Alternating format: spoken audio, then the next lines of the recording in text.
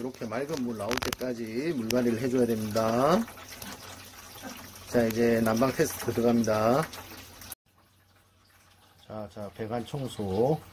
리얼 동영상. 야, 온다, 온다, 온다, 온다, 온다. 색깔이 온다, 온다, 온다. 왔다, 왔다, 왔다, 왔다. 오리지널이 왔어요. 아하하. 이 정도 나와줘야 또 이게 효과가 팍팍 오죠. 아주 좋아. 제- 대한민국에서 제일 잘하는 사람을 불렀는데, 지금. 그래서 그래요? 방송에도 많이 나온 사람이야, 이 사람은. 이거 하면 또 가야 된다고요. 지금 수원으로 가야 돼, 이거 하면은 또. 강서구도 가야 되는데 내가 못 간다 해서 너무 힘들어가지고. 크, 세상인가. 이게 이게 뭐 진실일까요? 이게 거짓일까요? 이게 빨리 빨리 따뜻해지겠지. 따뜻해지겠지.